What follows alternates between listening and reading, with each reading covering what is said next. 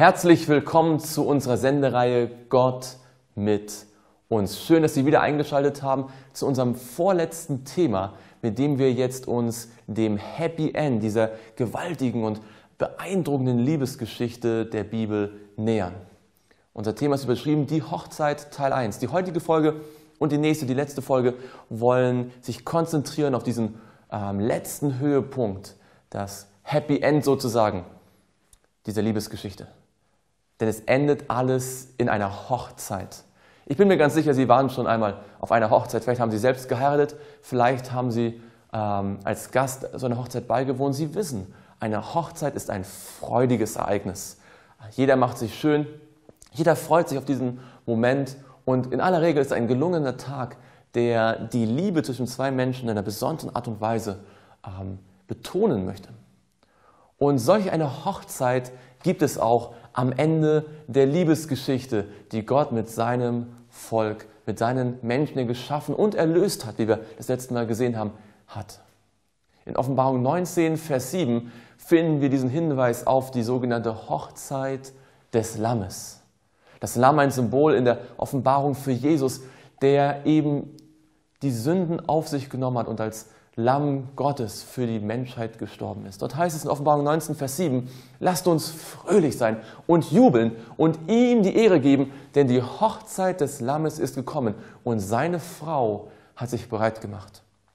Es ist ein fröhlich Anlass, eine gute Nachricht. Jubeln sollen wir anlässlich dieser Hochzeit des Lammes, die bald da sein wird. Es heißt hier, die Hochzeit des Lammes ist gekommen. Jesus möchte endlich seine Braut heiraten. Und seine Braut, die Frau, das haben wir schon mehrmals gesehen in den verschiedenen Folgen, ist seine Gemeinde, seine Gläubigen. Denn er möchte mit jedem Einzelnen solch eine ganz innige Beziehung haben, nicht nur in Gedanken, sondern letztendlich am Ende auch von Angesicht zu Angesicht. Und hier in diesem Vers sehen wir, dass eine Frau sich bereit gemacht hat. Jeder weiß, dass eine, eine Braut nicht einfach so zur Hochzeit kommt. Lange hat sie sich vorgestellt und überlegt, wie sie ausschauen möchte. Sie hat sich vorbereitet, hat ein Hochzeitskleid sich besorgt und möchte sich besonders schön, makellos für diesen Tag herrichten. Und das, was wir erleben in der Ehe, in der, bei einer menschlichen Hochzeit, ist sozusagen wiederum ein Gleichnis für das, was wir erleben dürfen als Menschen, die wir uns vorbereiten auf die Hochzeit des Lammes. Nur ein Vers weiter, in Offenbarung 19, Vers 8, finden wir, was diese Braut dort bei der Hochzeit trägt. Das ist ja meistens eine der wichtigsten Fragen bei der Hochzeit. Was trägt die Braut? Und hier in Offenbarung 19, Vers 8 wird uns gesagt, und es wurde ihr, der Frau, gegeben, sich in feine Leinwand zu kleiden, rein und glänzend. Ein wunderschönes Kleid, ein reines Kleid, ein makelloses Kleid. Und es wird auch erklärt, wie dieses symbolische Kleid zu deuten ist. Das heißt, denn die feine Leinwand ist die Gerechtigkeit der Heiligen. Was ist es, was uns vorbereitet auf die endgültige Begegnung mit unserem Herrn, mit unserem Erlöser, mit unserem Freund Jesus? Es ist die Gerechtigkeit, die er uns schenken möchte. Jene Gerechtigkeit, die durch den Glauben kommt, durch das Bewusstsein, dass er für uns gestorben ist und uns alles schenken möchte. Auch die Gerechtigkeit, die wir brauchen. Und so ist jeder von uns eingeladen zu dieser Hochzeit. Denn ein Vers weiter, in Vers 9, lesen wir folgende Worte. Und er sprach zu mir, schreibe, glückselig sind die, welche zum Hochzeitsmahl des Lammes berufen sind. Und er sprach zu mir, dies sind die wahrhaftigen Worte Gottes. Mit anderen Worten, das, was gerade aufgeschrieben worden ist von Johannes, dort in der Offenbarung, das sind die Worte, die Gott selbst vom Thron gesprochen hat. Glückselig sind die, welche zum Hochzeitsmahl des Lammes berufen sind. Das ist Gottes Einladungskarte zur Hochzeit. Wer eine Hochzeit plant, der macht sich Gedanken, wie er seine Gäste einladen möchte. Und Gott hat sich auch Gedanken gemacht. Er lädt jeden ein, der teilhaben möchte an diesem Hochzeitsmahl. Er möchte den Bund ein für alle Mal verewigen, bis das kein Tod uns scheiden wird in der Ewigkeit. Wir haben in den letzten Folgen sehr viel gelernt über den Bund, den Ehebund, sowohl im zwischenmenschlichen Bereich, aber vor allem auch in der Beziehung zwischen Gott und den Menschen. Und dieser Bund den Gott von Anfang an geplant hat, als er Adam schuf, den er dann durch Geschichten, durch Gleichnisse und durch äußere Zeichen illustriert hat im Leben von Adam, von Henoch, von Noah, von Abraham, von vielen anderen, den er seinem Volk Israel angeboten hat, die allerdings ihn nur zur Hälfte wollten, deswegen der alte Bund eingeführt worden ist.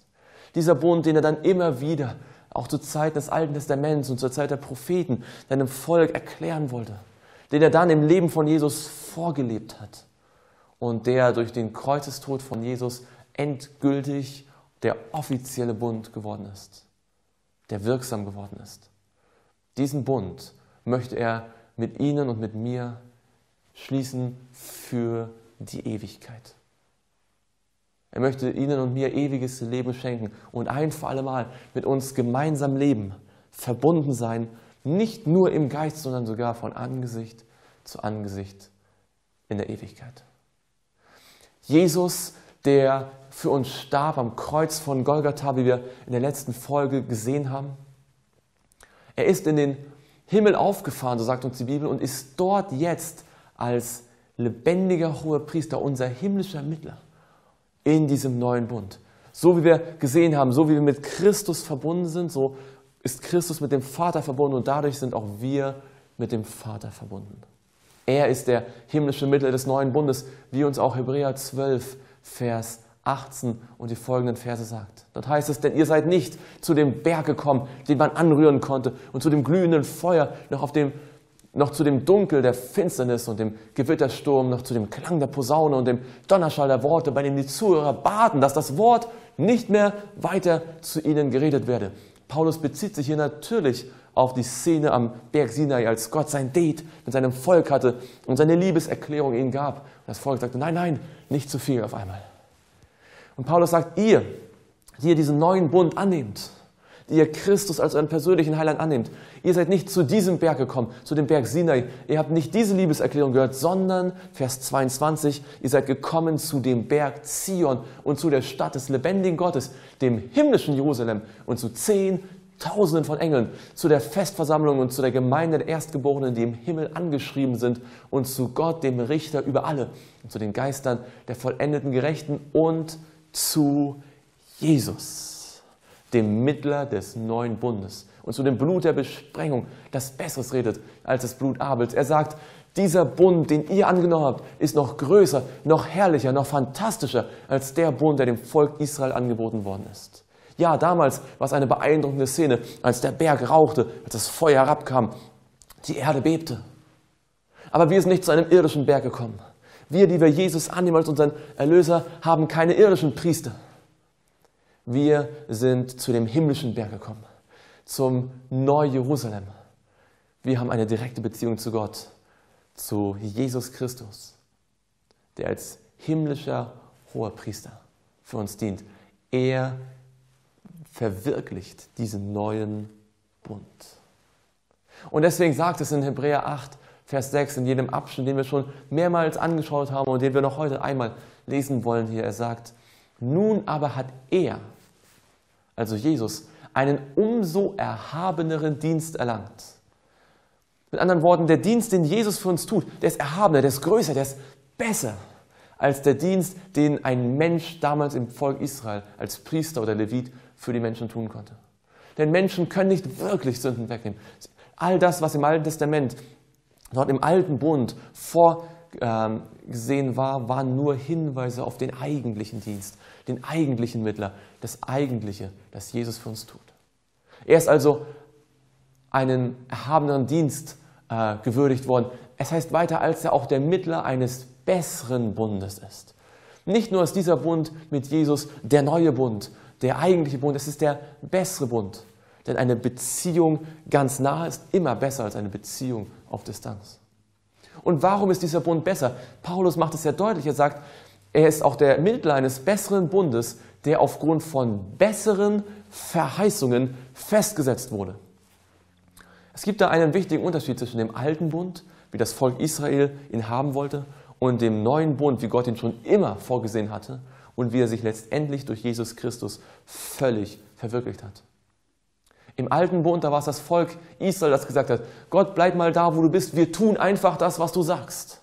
Es waren die Menschen, die versprochen haben, Gott, wir sind dir treu. Bleib nur da, wo du bist. Wir tun alles, was du sagst. Wir sind dir gehorsam. Wir folgen deinem Maßstab. Aber diese Verheißungen, wie wir gesehen haben, sind immer wieder gebrochen worden. Die Versprechen, die das Volk gegeben hat, waren oftmals nicht viele Tage alt und sind dann sofort gebrochen worden. Die Verheißungen und Versprechungen, die, die Bundesschlüsse, die vom Volk aus kamen, sind meistens zerbrochen. Denn die menschlichen Verheißungen, die menschlichen Versprechungen sind oftmals nicht vertrauenswürdig. Aber im neuen Bund, da ist es nicht der Mensch, der Gott sagt, ich werde dir gehorsam sein, sondern im neuen Bund ist es Gott, der sagt, ich werde mein Gesetz in dein Denken schreiben und dann wirst du sowieso gehorsam sein. Ich werde bewirken, dass du in meinen Satzungen wandelst. Ich werde Feindschaft setzen zwischen dir und der Schlange.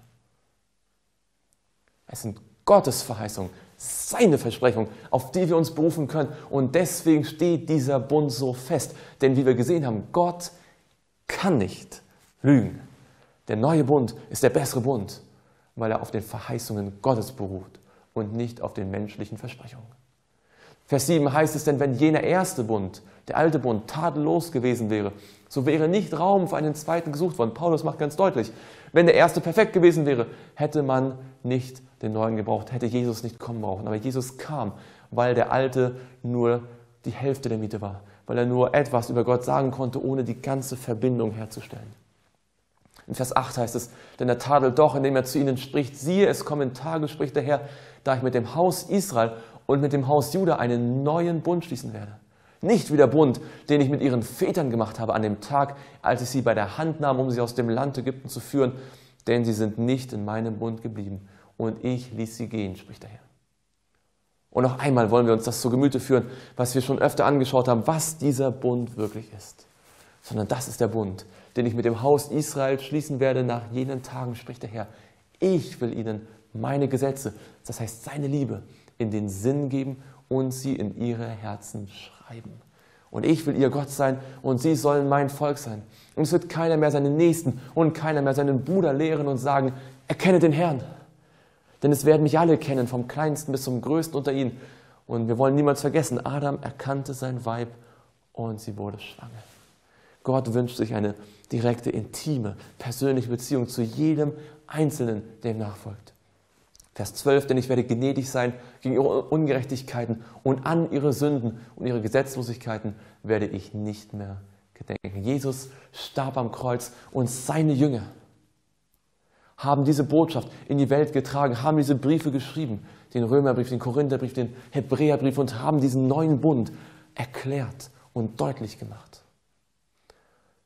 Jesus hat diesen Bund nicht nur vorgelebt, er hatte gesagt, folgte mir nach, macht es so wie ich. Er hatte dieses Wissen und diese Erfahrung des Bundes seiner Gemeinde übergeben. Und wir können nun in der Geschichte dann nachvollziehen, was aus diesem Bund geworden ist. Hat die Christenheit diesen Schatz, den Jesus ihnen anvertraut hat, hat sie ihn wertgeschätzt, hat sie ihn festgehalten, hat sie ihn bewahrt. In der Offenbarung wird uns beschrieben, wie die Christenheit durch turbulente Zeiten gegangen ist, seit jener ersten Anfangszeit der Urchristenheit. Zum Beispiel in Offenbarung 2, Vers 4 wird Bezug genommen auf jene erste Christen, die nach einigen Jahrzehnten des mühevollen Arbeitens für Gott doch einen Schritt wieder von ihm entfernt gewesen sind. In Offenbarung 2, Vers 4 sagte Jesus selbst zu seiner ersten Gemeinde, dem ersten Abschnitt der Kirchengeschichte, aber ich habe gegen dich, dass du deine erste Liebe verlassen hast.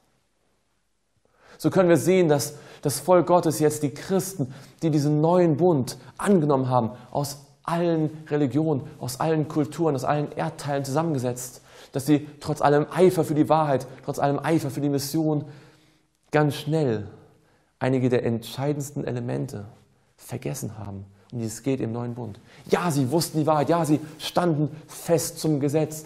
Ja, sie haben die Botschaft gepredigt, so wie Jesus ihnen aufgetragen hat, aber sie haben unterdessen vergessen, Gott so zu lieben wie am Anfang.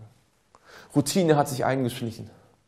Und als Routine sich eingeschlichen hat, dann hat es nur einige Jahrhunderte weiter gedauert, bis die Christenheit in schlimmeres Fahrwasser gekommen ist, als die Krisen zunahmen, theologischer Art. In Offenbarung 2, Vers 14 und Vers 20 lesen wir davon, wie die Gemeinde Schritte unternommen hat, die wirklich bedenklich sind. Es heißt in Vers 14, zu einer Zeit ungefähr 300, 400 Jahre nach Christus, aber ich habe ein weniges gegen dich. Dass du dort solche hast, die an der Lehre Biliams festhalten, der den Balak lehrte, einen Anstoß zur Sünde vor die Kinder Israel zu legen, sodass sie Götzenopfer aßen und Unzucht trieben. Wieder finden wir in der, in der Christenheit, die sich jetzt über Jahrhunderte hinweg sozusagen nicht zum Guten entwickelt, dass Götzendienst und geistliche Hurerei wieder Einzug halten, Schritt für Schritt. Da gibt es wieder welche, die solche Dinge lehren und diese Prinzipien wieder einbringen.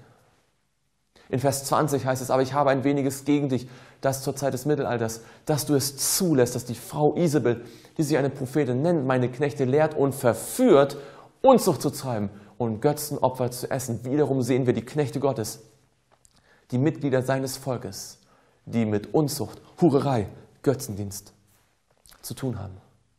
Die traurige Geschichte in dieser Liebesgeschichte, die über so viele tausend Jahre geht, ist, dass selbst nach dem Kreuz, nachdem Gott seine Liebe in unmissverständlicher Form deutlich gemacht hat, diejenigen, die vorgegeben haben, ihm zu folgen und den Bund mit ihm zu leben, wiederum in Hurerei, in Unzucht, in ein Brechen des Bundes verfallen sind. In der Offenbarung und dort in Offenbarung 14 in der Endzeitbotschaft, der sogenannten dreifachen Engelsbotschaft, in der das gesamte Evangelium der Bibel in gedrängter Form zusammengefasst ist. Übrigens eine Passage, von der ich Ihnen empfehlen möchte, dass Sie sie ausführlich einmal studieren. Da heißt es hier in Offenbarung 14, Vers 8, und ein anderer Engel folgte ihm, der sprach, gefallen, gefallen ist Babylon, die große Stadt, weil sie mit dem Glutwein ihrer Unzucht alle Völker getränkt hat.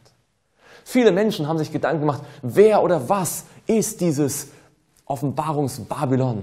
Handelt es sich um das antike Babylon? Das kann nicht sein, denn das ist schon lange vergangen und es gibt kaum noch Überreste davon. Handelt es sich vielleicht um eine politische Macht? Handelt es sich um einen einzelnen Bösewicht? Vielleicht zur Zeit von Johannes, der die Christen verfolgt hat? Ist es vielleicht ein allgemeines Prinzip, vielleicht ein Symbol für die Sünde selbst? Ist es vielleicht einfach nur all das, was uns ablenkt von Gott, wie der Fernseher oder sonst etwas? Oder ist es eine bestimmte Religion? Alle möglichen Theorien sind angeführt worden, aber das Geheimnis Babylon wird gelüftet, wenn wir sehen, was Babylon den Menschen bringt. Denn in diesem Vers lesen wir, gefallen, gefallen ist Babylon, die große Stadt, weil sie mit dem Glutwein ihrer Unzucht alle Völker getränkt hat. Später wird, wir werden das gleich noch sehen, Babylon als eine Hure dargestellt. Das Problem Babylons ist, dass sie im Bundesbruch leben. Babylon steht für den Bruch des Bundes. Unzucht, Hurerei, genau das, was ja auch schon im Alten Testament mit dem Volk Israel immer wieder passiert ist. Wir wollen uns verstehen, wie hat sich das zugetragen? Was ist passiert mit dem Bund, mit dem Verständnis vom neuen Bund, das Gott auch so deutlich im Leben von Jesus und seinem Tod dargestellt hat? Das Geheimnis, um das besser zu verstehen, liegt in dem Wein der Unzucht. In der Bibel finden wir das Wort Wein als ein Wort, das sowohl den Traumsaft als auch den alkoholischen Wein bezeichnen kann. An dieser Stelle ist ganz offensichtlich alkoholischer Wein gemeint, der die Völker getränkt hat, wie wir später sehen werden, der die Völker benebelt und verführt. Aber es ist zu beachten, dass Wein, und das wissen wir alle, alkoholischer Wein nichts anderes ist als vergorener Traumsaft. Um also das Geheimnis des Weines der Unzucht zu verstehen, müssen wir zunächst einmal verstehen, wofür in der Bibel steht der Traubensaft. Wir haben eine interessante Aussage dazu, zum Beispiel hier in Jesaja 65, Vers 8. Dort heißt es, so spricht der Herr, wie wenn sich noch Saft in einer Traube findet und man dann sagt, verdirb sie nicht, denn es ist ein Segen in ihr. Traubensaft hat Segen. Aber Traubensaft darf nicht verdorben werden. Wenn Traubensaft verdorben wird, wenn er vergärt, dann ist da kein Segen mehr, sondern Fluch. Es gibt übrigens viele Bibelverse, die ganz deutlich machen, dass alkoholischer Wein ein echter Fluch ist. Und man braucht nicht viel Vorstellungskraft, um in der Realität unserer Welt zu sehen, dass Alkohol wirklich eine Geißel der Menschheit ist. Aber das ist nicht unser Thema heute. Der Wein, dieser mysteriöse Wein Babylons, der die ganze Welt zur Unzucht verführt, ist verdorbener, vergorener Traumsaft.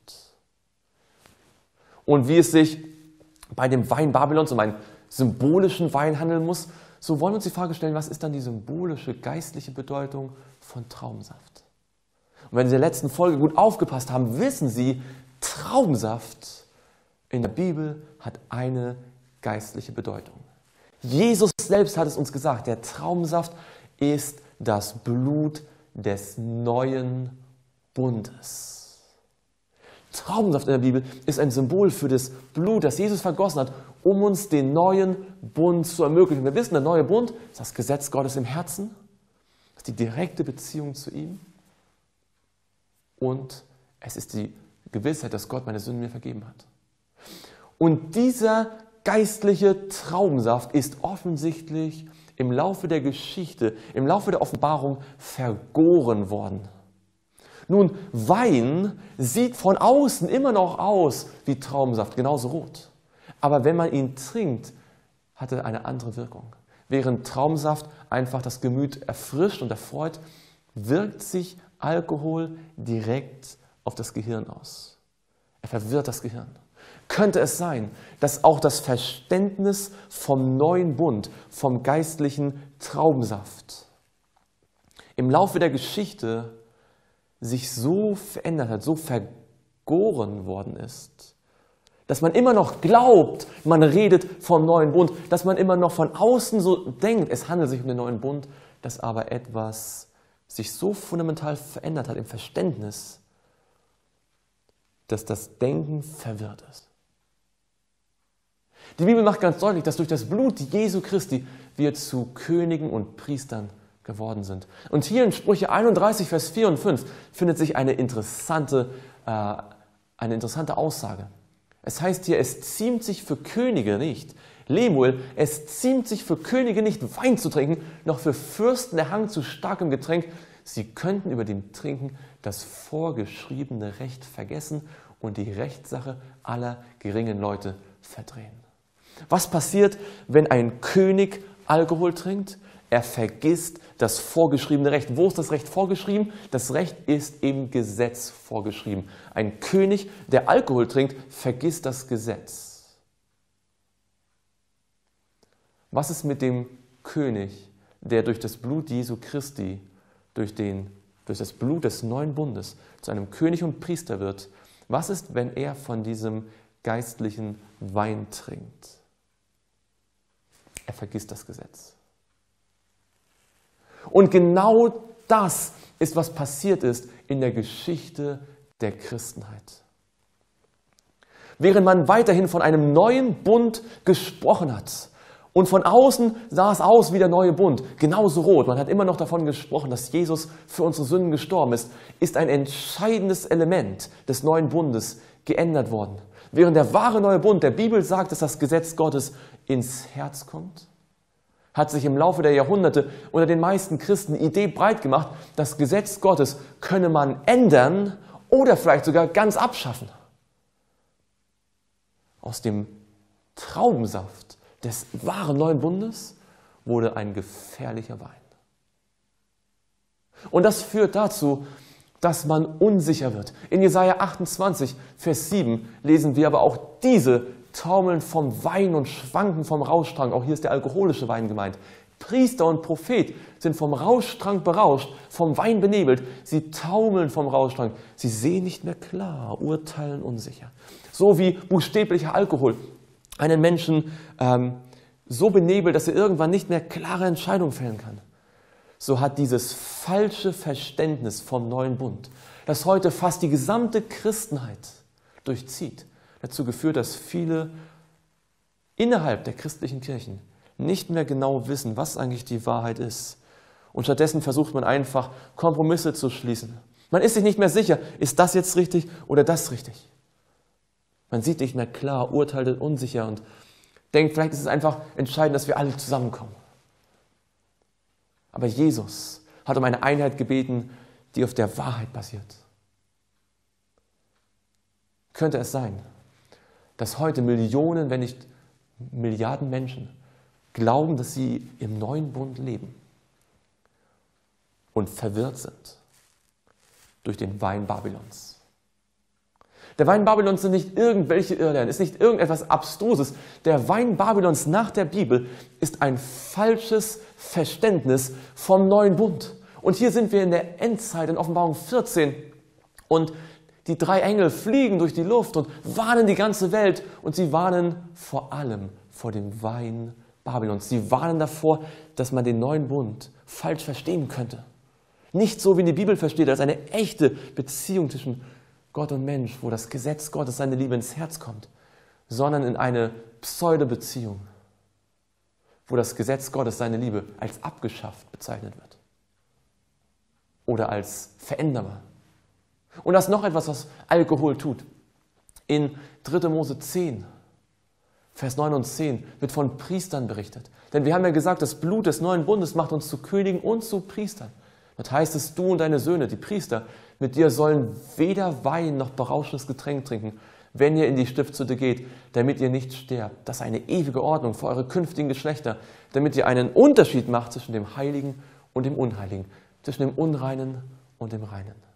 Wer Alkohol trinkt als Priester, kann nicht mehr zwischen heilig und unheilig unterscheiden, zwischen rein und unrein. Und genau das ist passiert im Laufe der Christenheit als das Verständnis von der wahren Beziehung zu Gott, von der Liebe, die Gott zu uns hat, von dem neuen Bund verloren ging mehr und mehr. Ging das Verständnis verloren, wie wir mit dem Gesetz Gottes umgehen sollen. Es ging das Verständnis verloren, was ist heilig, was ist unheilig, was ist der heilige Tag Gottes und was ist der unheilige Tag. Was ist rein und was ist unrein und viele andere Dinge in der Bibel. Man war sich plötzlich unsicher. Und Christ, christliche Tradition und christliche Fabeln und Legenden haben den Platz eingenommen für die einfache, klare Wahrheit der Bibel. Ich glaube, es ist Zeit, dass wir erneut entdecken, dass die Bibel ein ganz eindeutiges Verständnis vom neuen Bund vermittelt. Von einer persönlichen Beziehung zu Gott, die dadurch geprägt ist, dass das Gesetz Gottes in unser Herz kommt. Die christliche Welt ist verwirrt durch ein falsches Verständnis vom neuen Bund. Und weil das so ist, suchen sie sich Hilfe. Denn wenn ich nicht mehr eine klare Beziehung zu Jesus habe, dann muss die Autorität aus einer anderen Quelle kommen. In Offenbarung 17, Vers 1 bis 5 heißt es dort von jenen christlichen Systemen, die diesen neuen Bund neu interpretieren, sozusagen, falsch interpretieren. Einer von den sieben Engeln, welche die sieben Schalen hatten, kam und redete mit mir und sprach zu mir, Komm, ich will dir das Gericht über die große Hure zeigen, die an den vielen Wassern sitzt, mit der die Könige der Erde Unzucht getrieben haben und von deren Wein der Unzucht die, welche die Erde bewohnen, trunken geworden sind. Diese Hure Babylon treibt Unzucht mit den Königen der Erde. Und er brachte mich im Geist in eine Wüste, und ich sah eine Frau auf einem scharlachroten Tier sitzen, das voll Namen der Lästerung war und sieben Köpfe und zehn Hörner hatte. Und die Frau war gekleidet in Purpur und Scharlach und übergoldet mit Gold und Edelsteinen und Perlen.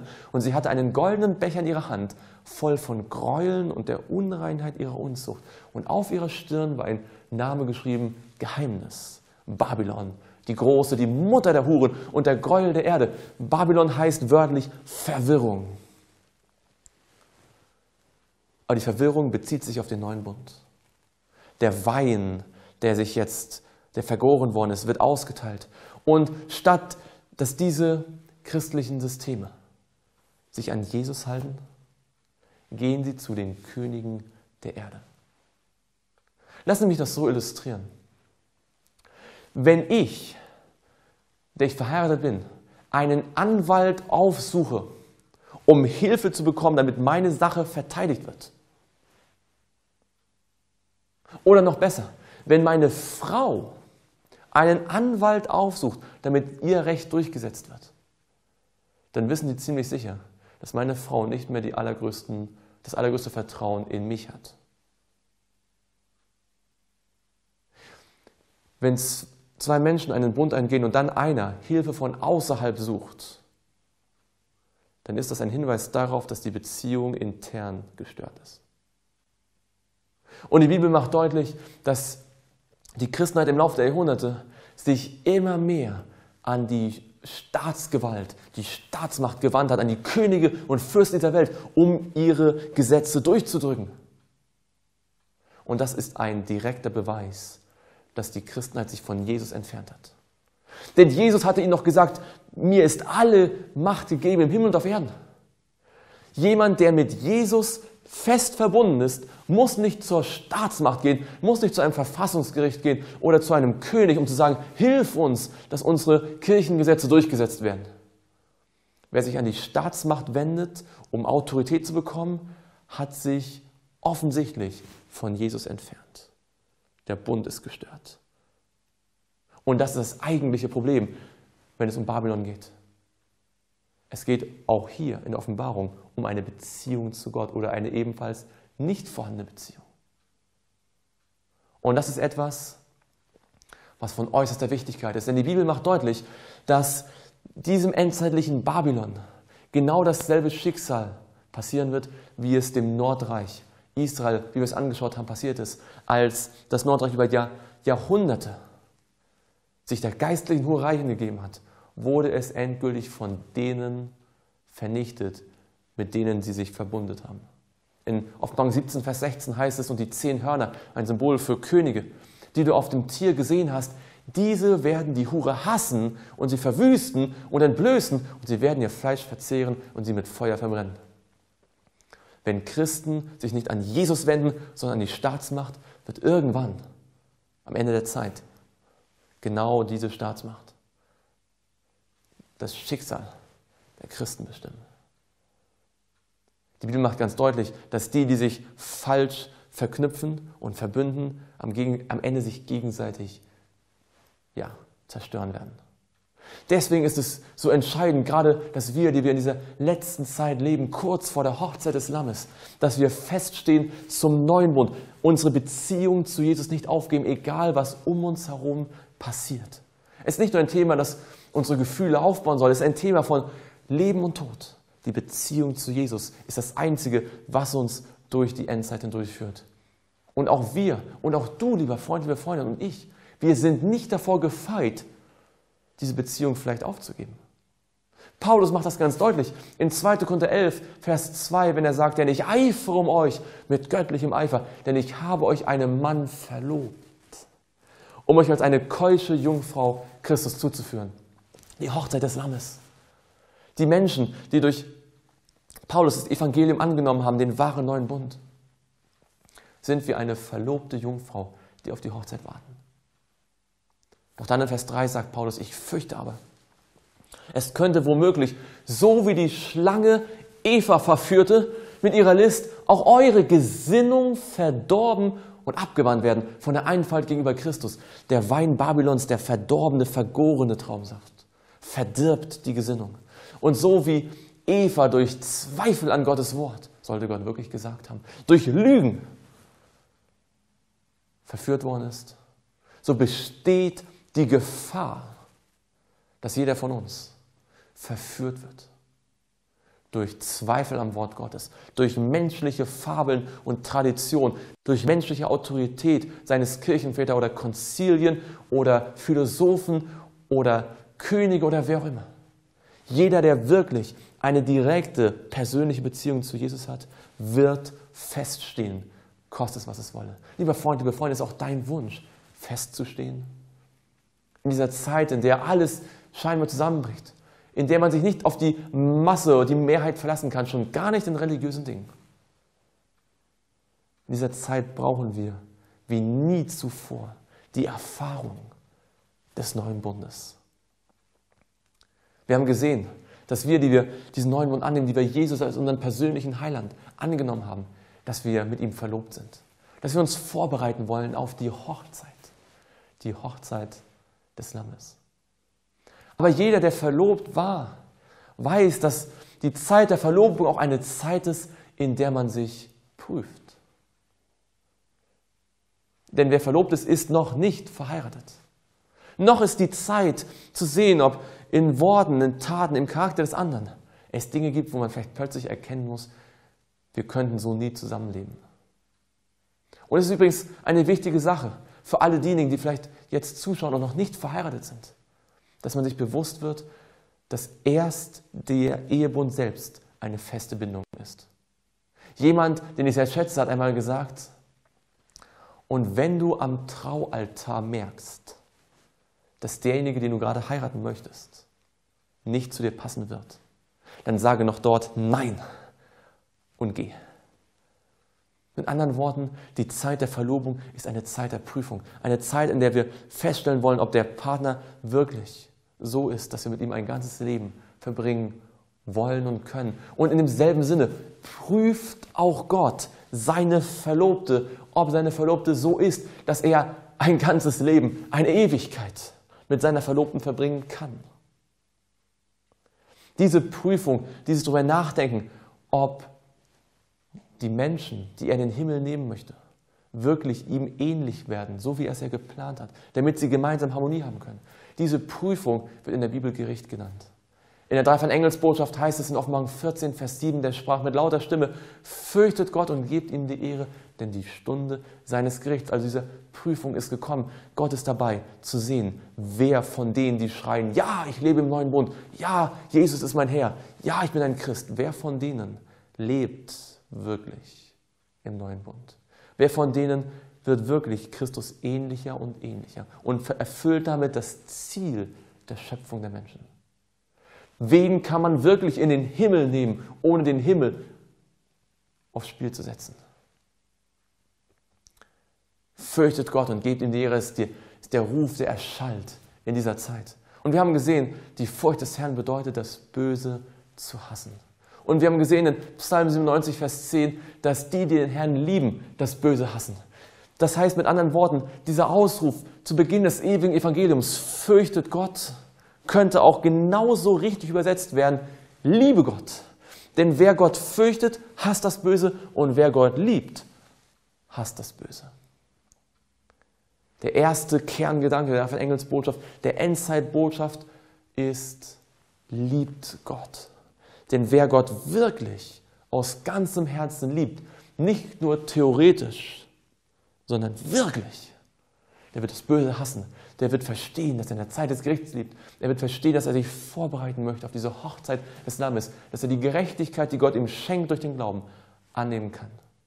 Lieber Freund, liebe Freundin, möchtest du heute in einer Zeit, in der so viel Falsches über den neuen Bund erzählt wird, wo Menschen sogar sagen, sie halten die Gebote Gottes nicht, weil sie im neuen Bund sind, völlig verwirrt durch den Wein Babylons, möchtest du feststehen zu dem biblischen Bund, den neuen Bund der Bibel, den Herrn lieben, das Böse hassen, dich vorbereiten auf die Hochzeit des Lammes und den Bund so bewahren, wie er uns gegeben worden ist, vorgelebt durch Jesus. Damit in dieser erstaunlichen Zeit, in der wir leben,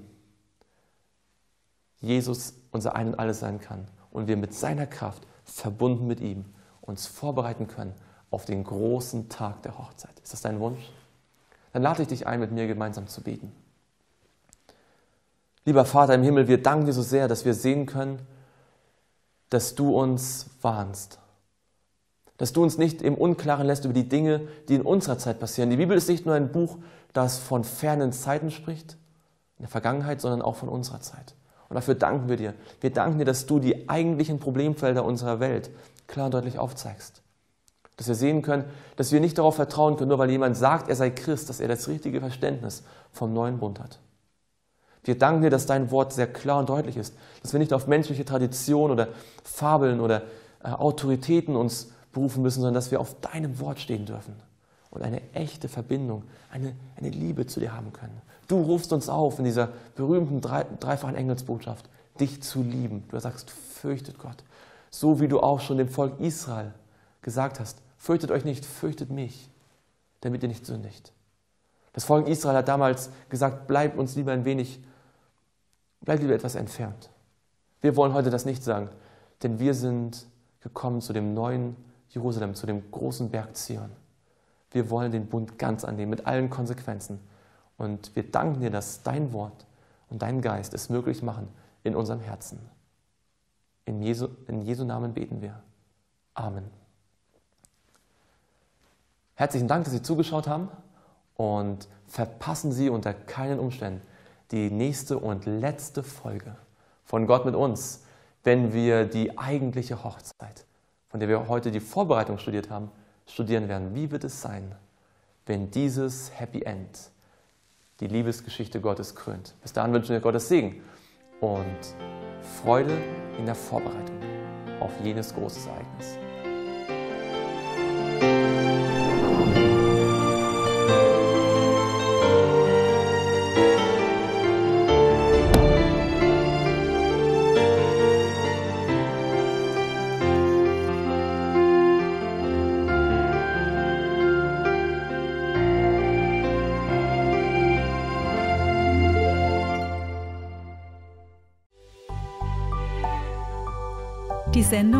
Teil einer Videovortragsreihe und als DVD-Set erhältlich. Unterstützen Sie die Medienarbeit von Vision TV und die kostenlose Bereitstellung wertvoller Videobeiträge durch den Kauf der DVDs.